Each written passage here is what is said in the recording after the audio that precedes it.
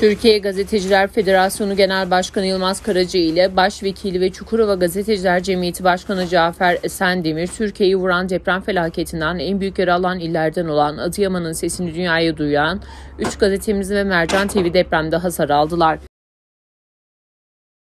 Türkiye Gazeteciler Federasyonu Genel Başkanı Yılmaz Karaca, bugün Adıyaman'dayız. 3 tane günlük gazetemiz ve Mercan TV maalesef binaları çökmüş durumda. Türkiye Gazeteciler Federasyonu olarak bu kampanya başlattık. 3 gazetemizi bilgisayar hediye ediyoruz. Başkan Karaca, depremler sonrası büyük yakım yaşanan Adıyaman'ın sesi ve dünyaya açılan kapısı olan Mercan TV, çadırda da olsa yayın hayatını sürdürdüğünü belirtti. Evet, e, bugün deprem bölgesini gezmeye geldik. Adıyaman'dayız. Ee, Adıyaman'da e, üç tane günlük gazetemiz var.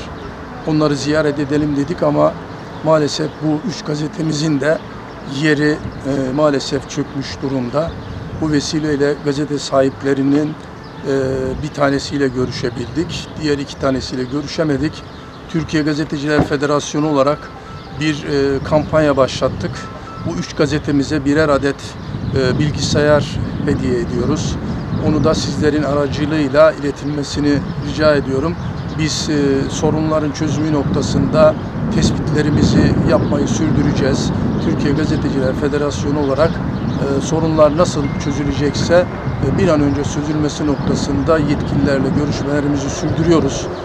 E, 16 e, gün sonra e, bir televizyonun yayına başlaması, gazetelerin, Adıyaman'daki gazetelerin hala daha e, çökük göçük altında olması e, iyi bir olay değil. Bir an önce basının ayağa kaldırılması lazım yetkililere. Burada sizin aracılığıyla çağrıda bulunuyorum.